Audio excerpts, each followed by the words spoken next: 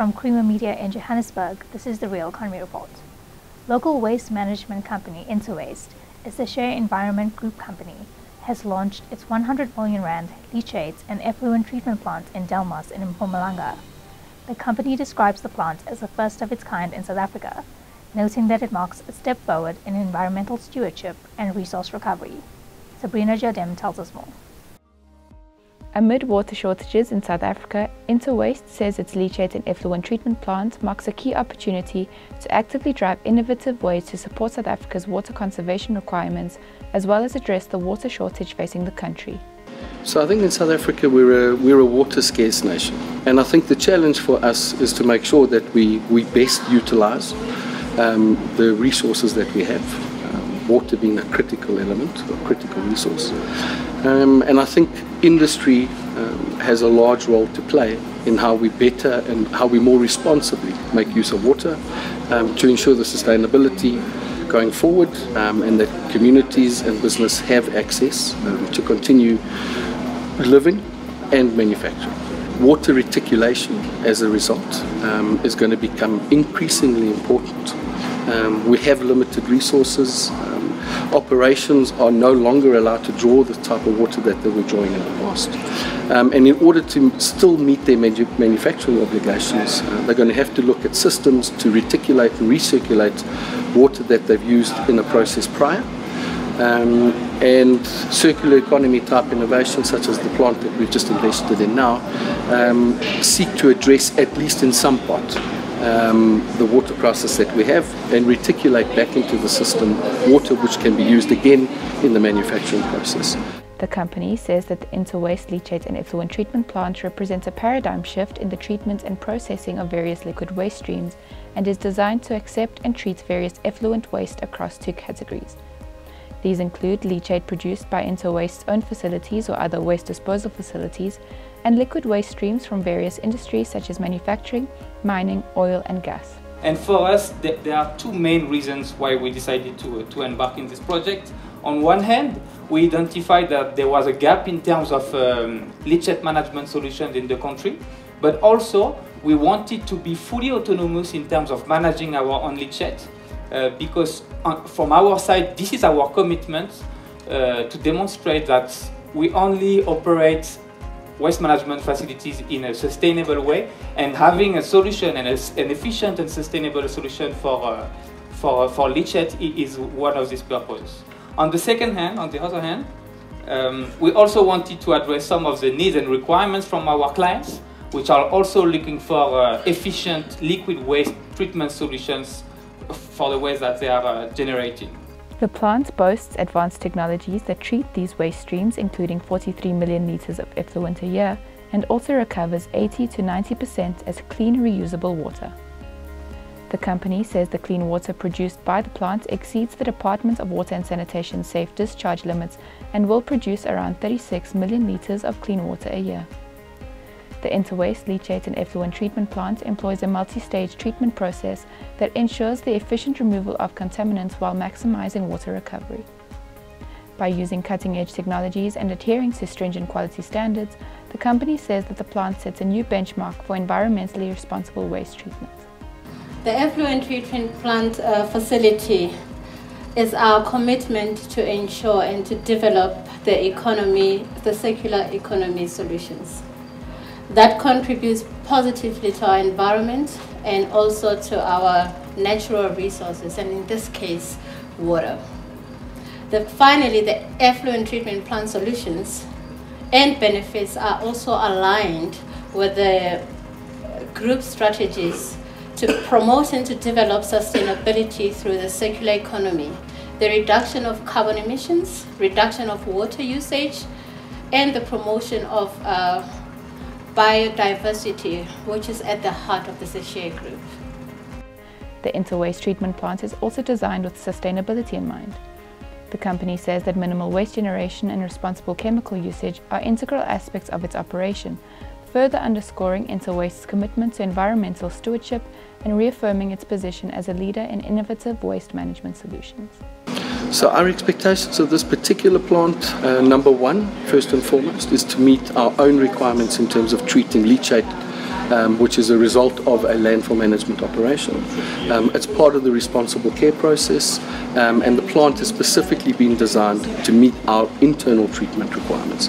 There is additional capacity which is available to industry. Um, we have made that uh, capacity available to industry, um, and that falls in line with the zero waste or zero liquid waste to landfill ban, uh, which was implemented in 2019.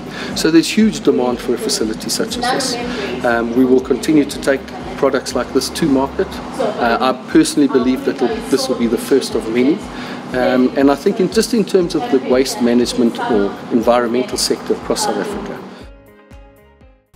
Anchored fundamentally in the principle of managing its manufacturing processes, Conveyor Belt Solutions manufacturer and supplier Tru-Trac Rollers' ongoing investments in state-of-the-art technology and its adherence to strict international quality standards underscore its commitment to excellence. Simone Litka, who visited their facility, tells us more. Based in Centurion in South Africa, Tru-Trac's facility combines in-house manufacturing, R&D and a commitment to cultivating a progressive workplace culture. This strategy, according to COO Shaun Blumberg, has reinforced the company's status as a comprehensive solutions provider in the conveyor solutions sector. You know, over the last, what is it, close on 30 years, we've developed a, a comprehensive basket of uh, conveyor components manufactured locally. Um, and uh, we, we also, not only do we supply product, but the business has evolved to, to be sort of a, a solution of a turnkey uh, solution provider. So I think the, the market has changed and evolved and uh, where we are today is that customers demand you know, a solution, not a product in isolation. And um, this, the skills that we've developed and worked very hard to develop is you know, the technical expertise in-house to, to assist customers by adding value uh, to enhance their conveyor operations, address their problem or prevent problems, and working in partnering with them um, to, to um, increase the productivity on their conveyor belts. The company also aims to maintain a cycle of continuous improvement and commitment to people thereby ensuring that operations are not only efficient and sustainable, but also beneficial to the broader community.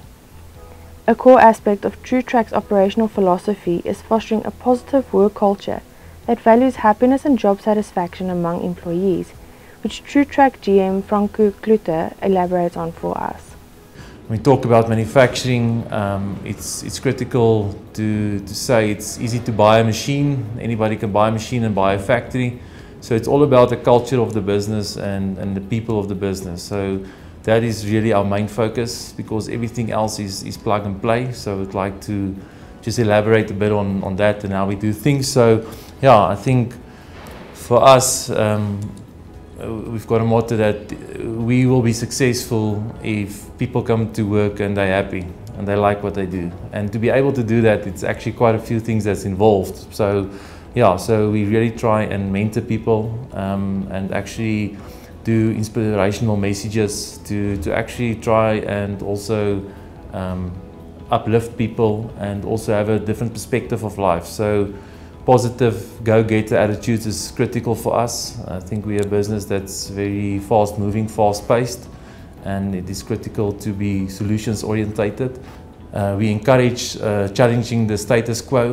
We're very open for new innovations. Um, we empower people uh, to make uh, uh, changes to, to their environment. We encourage it and we actually do give guys the necessary tools to, to be able to do that.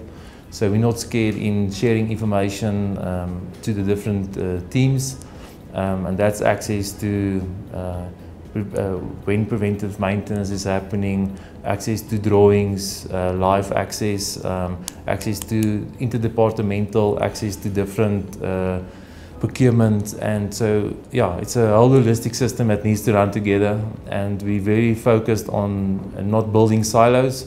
So if there's a problem in the business, it's everybody's problem. And sometimes four or five departments needs to get involved to get things uh, resolved. And, that's the type of of culture we nurture where if there's a problem um, nothing is too big to assist and it's if it's not a departmental problem it's a business problem so and, and that's that's really how we how we uh, encourage people to, to look at it. Apart from its after-sales support, the company also prides itself on being able to deliver a successful quality product. Klute explains in more detail.